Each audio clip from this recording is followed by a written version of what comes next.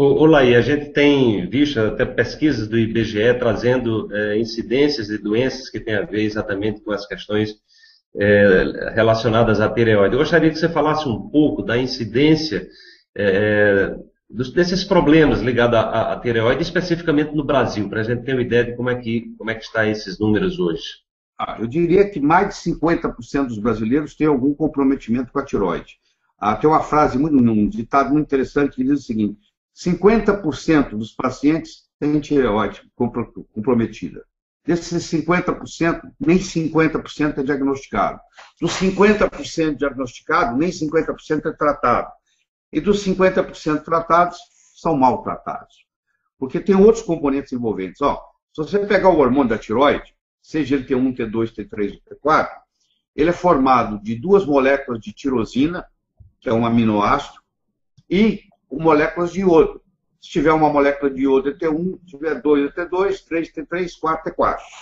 E se eu tiver deficiência de tirosina, que isso acontece com certa frequência, se eu não faço uma nutrição proteica adequada, eu também não posso produzir o hormônio da tiroide. A minha tiroide pode estar muito boa, muito bem, obrigado. Mas ela não tem matéria-prima para trabalhar.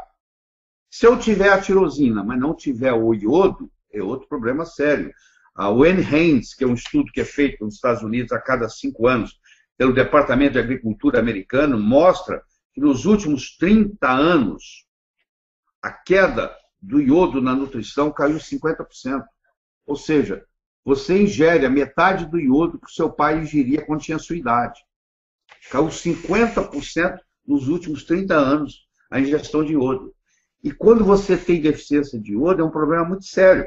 Por que, que é sério? Porque nós temos mais ou menos 1.500 miligramas de iodo no corpo.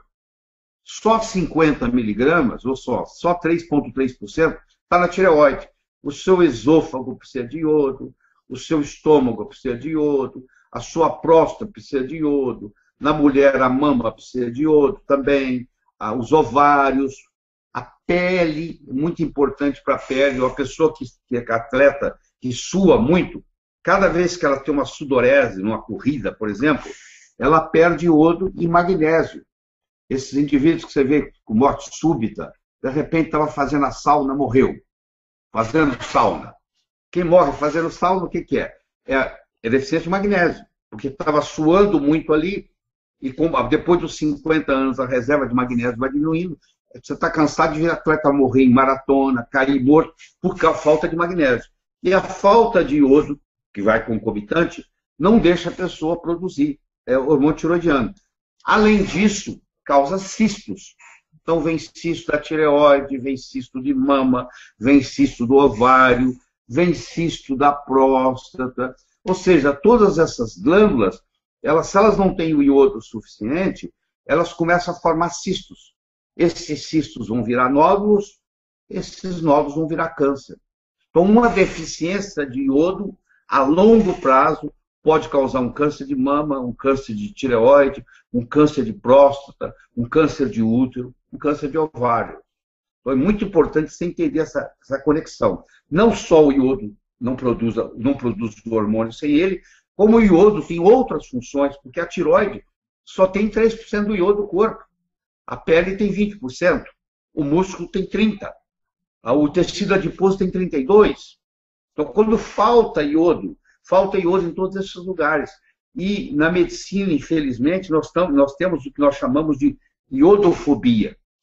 O médico acha, erradamente, que se ele der iodo para uma pessoa, ele vai lesar a tireoide dessa pessoa. Por que, que ele acha isso? Porque no momento que ele começa a dar iodo, há uma elevação do TSH.